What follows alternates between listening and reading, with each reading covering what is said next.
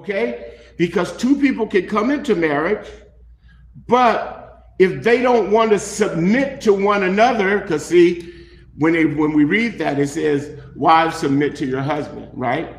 Three verses down, it says, submit one to another.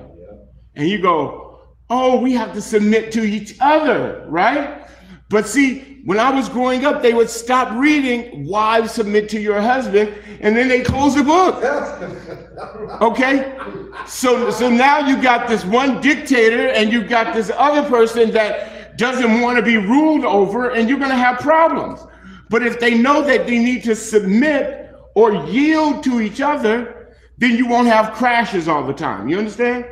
So the whole thing about this is that if you have rebellion, you don't want to be ruled over. Okay? That's the problem. Anyone that's going to be a part of God's kingdom has to love submission, has to love obedience and submission to God. You've got to give yourself over and say, God has authority over me. You have to give yourself, you have to give up your own free will. It's very hard to, to deal with people who have free wills.